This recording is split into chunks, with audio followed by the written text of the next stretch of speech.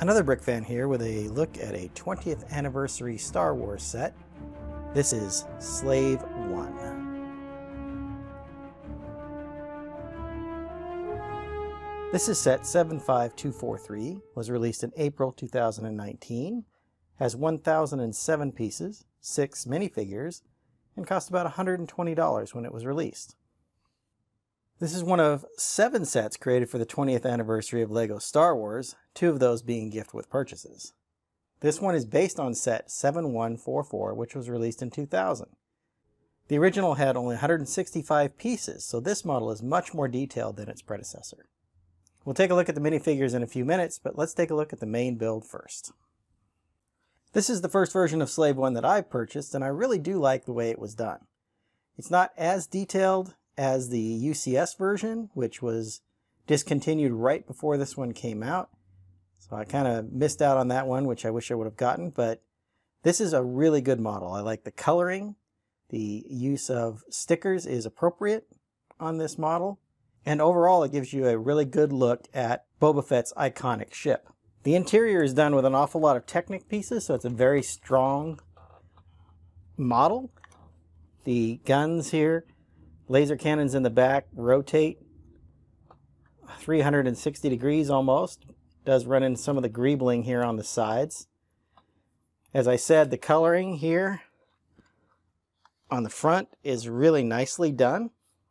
And it's done with different colored bricks. So we have the sand green and the gray and then the dark forest green as the color scheme. There's a couple of spring-loaded shooters that are cleverly integrated into the ship right here. I like and thought was really well done. They are actually launched using these small pieces here on the underside, which we'll look at in a little more detail in a minute. But she, you see the shaping on the sides is done really well. Again, another little blaster here represented by these robotic arms and then a binocular piece, which I think is pretty cool. These are also on Technic pins. So as you rotate slave one into its flight position, you'll see that those rotate nicely, which is a good thing. The use of stickers is interesting. So there's some good stickers here on these two plates. So you just have to work really hard to line those up just right. Is easy to get wrong. The cockpit inside also has some additional stickers. The pilot seat rotates, so as you move it into different positions, you'll see that the seat rotates and allows for the pilot to be in the right position.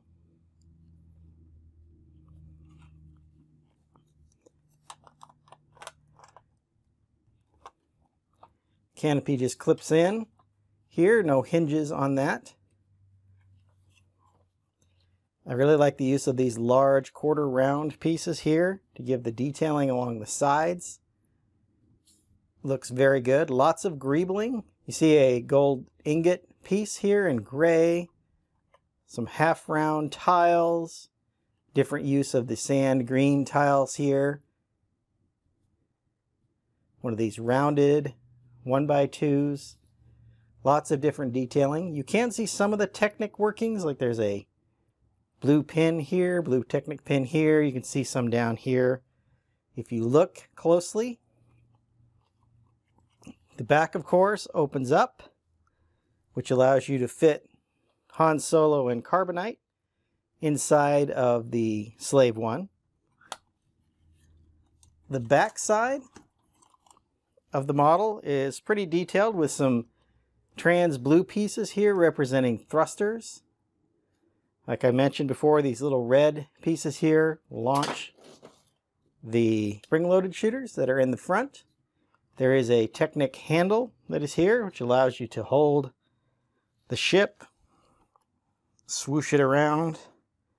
Gives you a lot of playability as well. The model is definitely looks good as a display piece, but is also definitely sturdy enough to be a good play piece as well. And looks good from many angles. Let's take a look at the minifigures.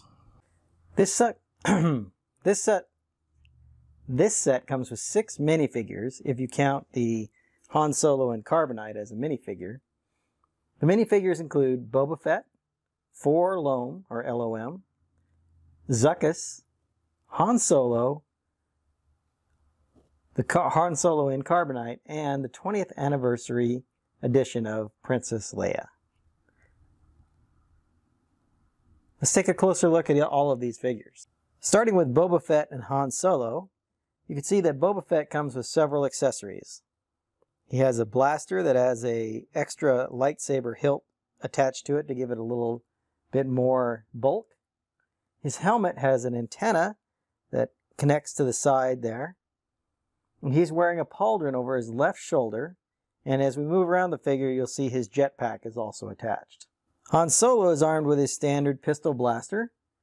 And he's wearing his white shirt and blue vest that he wore throughout uh, most of the movies.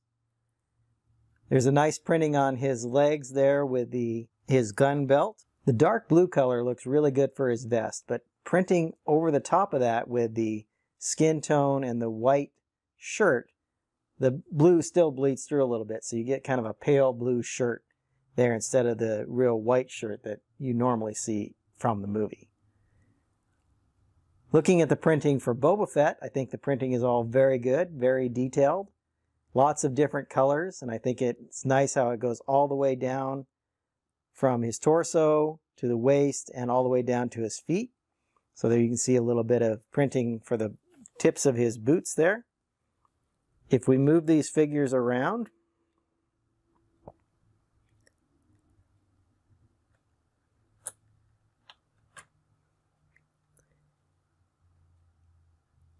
you'll see that there is just a little bit of printing on Han Solo's back done in black on the dark blue. So it's a little difficult to see. And then you see Boba Fett with his jetpack, the Mandalorian style jetpack there, which looks very good. If we remove the helmet, see that Boba Fett does not have an alternate face in this case.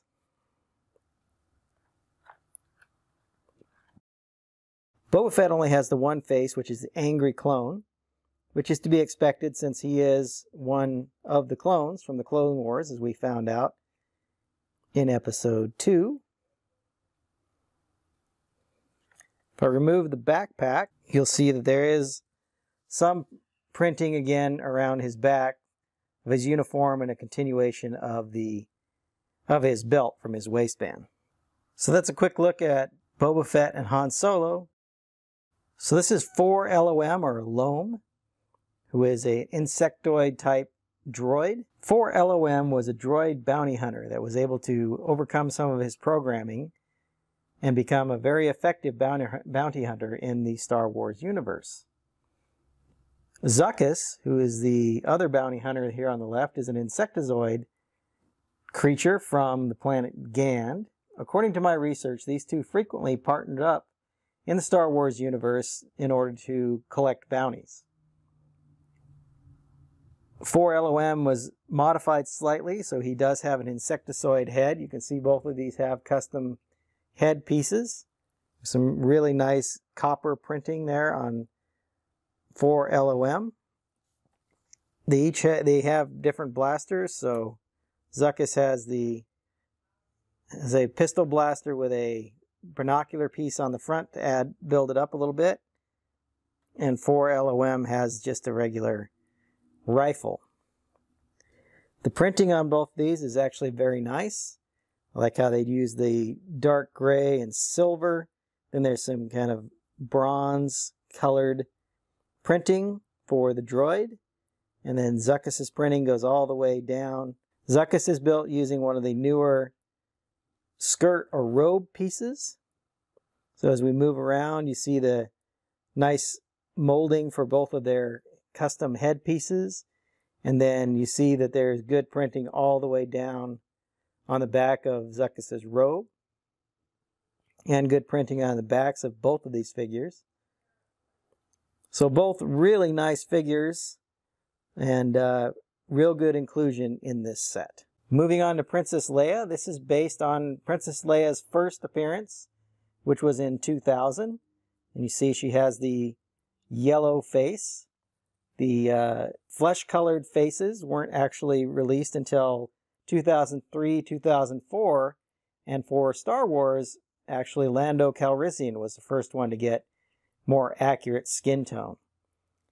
I do like this printed piece that comes with it for a base, which includes Princess Leia's name and the 20th anniversary Star Wars logo. And let's look at Princess Leia just a little bit closer. Her hairpiece has the original double bun look that was from A New Hope or Episode 4. The printing on the front is uh, little details around her robe, nothing on the legs. On the back, she has the 20th anniversary Star Wars logo, which is actually really big. It covers her entire back, but this is common for all of the exclusive minifigures that come with these 20th anniversary sets. She does not have an alternate face.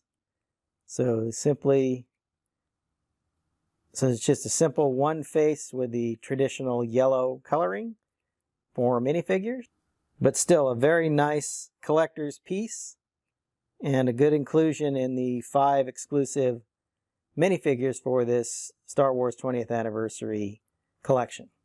The final minifigure, if you want to consider it that, it comes with this set is Han Solo frozen in carbonite. This is a piece that first came out in 2010 and has been used in about five or six sets since then. I like the use of the dark gray the dark bluish gray and then the black highlight the black printing to add some texture to the piece. There's some white printing on these little raised panels on the side that give you the hint of controls or monitors, readouts. As you can see, there, there are four different prints, and they are the same on both sides, although I don't think they're in the exact same order on each side. The mold itself is simply hollow, so obviously not really designed to look good from the back. It's just designed to be displayed from the front, but overall a very nice representation of Han Solo and Carbonite, a piece that's been used over the last 9 or 10 years. So that's all the minifigures that come with the set. Let's go back and I'll give you my closing thoughts. Overall a great set and a nice update to the original 2000 version. As I mentioned in the intro, this isn't the most detailed version of Slave 1 since they did do a UCS version that was released in 2015 and then discontinued right before this set came out. One of my favorite parts of the ship are the way they use the different colored bricks to create the modeling of the ship. The use of the sand green and gray along with the dark green elements really do set this ship off and makes it so it looks like a ship that has been through an awful lot, right? With a lot of different panels and different colors and odd places where the sand green is showing through the gray to give it, you know, the well-worn look. And those dark green arch pieces and the way they did the curvature of the ship really does look quite good. All the minifigures are done well and I think they're appropriate for the time period of this ship. So you have Boba Fett obviously as a pilot, which uh, looks really good. I like the pauldron that he's wearing. And that helmet piece is really good. Of course, Han Solo makes sense. The other two bounty hunters and the iconic Han Solo and Carbonite piece there is also very good. As I pointed out while we were looking at the minifigures, the Princess Leia figure is nice. It does represent the original Princess Leia minifig. Uh, I think the 20 year anniversary on her back is probably a little bit too big and kind of distracts from the, the figure, but other than that, it's overall it's very nice and it's good to get all those figures. And I did a look at all of the 20th anniversary figures, and I'll link that video up there in the corner. As far as the value of this set, being a licensed theme, I would expect it to be a little bit more expensive. And in this case it is. So there's about a thousand pieces and it costs about $120. So it is above that magical 10 cent per piece. However, you do get the five minifigures, not to mention the Han Solo and Carbonite, and one of those figures is exclusive to this set in the 20th anniversary Leia. So as far as the overall value of this set, I think it's pretty fairly priced at 120, but it's always nice to get Lego on sale. So if you can get this for less than $100, it's a great deal. Hope you've enjoyed my thoughts on this Star Wars 20th anniversary set. I'm going to get going on some more videos. Until then, happy building. If you enjoyed this video, hit that like button and subscribe to my channel to see more content. I've linked up a couple of my Star Wars playlists up here on the screen.